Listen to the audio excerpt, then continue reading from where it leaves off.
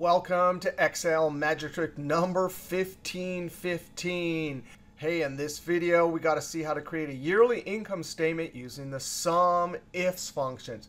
Now, actually, this question came from a student of mine at Highline who graduated and is out there working in accounting. And guess what? They sent me an Excel workbook with a question.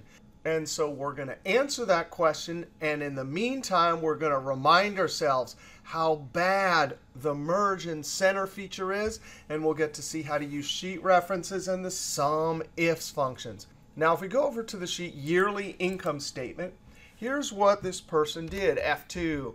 Oh, look at that. They're using sheet references, F6 plus F20. But all of those cell references are on the sheet weekly income statement.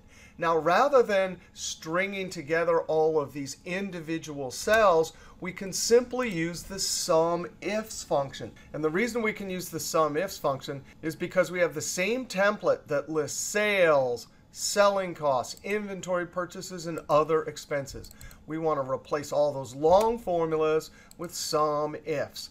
If we look at weekly income, sure enough, they have the same labels. Notice this column has all the numbers we need, and this column has all of the text we need. That means using sum ifs, highlighting this column and saying, please look here and only find sales, it will be able to pick out that number. And then down here, it'll be able to pick up that number. Now, there's going to be a big problem here, so let's try sum ifs. Now, let's go see if we can highlight that column of numbers for the sum range. Now, we're going to need to do a sheet reference. And the way you do that is you click on the sheet. Up in the formula bar, you can see, sure enough, in single apostrophes, that's the sheet name. Exclamation mark means this is a sheet reference. Now, watch what happens. These are the numbers, right? So I simply want to click and drag. And what is happening? I do not want it to move to the side like that, getting D and E and F. I want it to go straight down. Well, we have a big problem. Now, here's our formula. I'm going to click Escape. And now we want to go back to the sheet weekly income statement and see what is causing the problem. The problem is this. There, right here in a number of different places, they're using merge and center all over the place. Down here, totally unnecessary. Here, we can simply unmerge and then increase the column width. Up here, however, we might want things to be merged and center. But instead of using merge and center, I'm going to unclick that to get rid of it. And now we use Control 1 to open up Format Cells. And in Alignment, the substitute, which does not cause trouble like merge and center, is Center Across Selection. I'm going to click OK. Now we're going to have to manually go through and unmerge each one of these, clicking the Merge and Center button. Now I'm going to increase the column width between D and E. And probably we want to get rid of that column, but I'm going to leave it for now. Now I want to make sure that I can highlight. And sure enough, now we can highlight the correct D column and F column. Now I have to do this to every single template, but no problem. I'm going to highlight this template. And in Home Ribbon tab Clipboard, I can double-click Format Painter, or I can right-click and when I double click the Format Painter, it copies the formatting. And by double clicking, I can reapply this over and over, all the way down to the last one.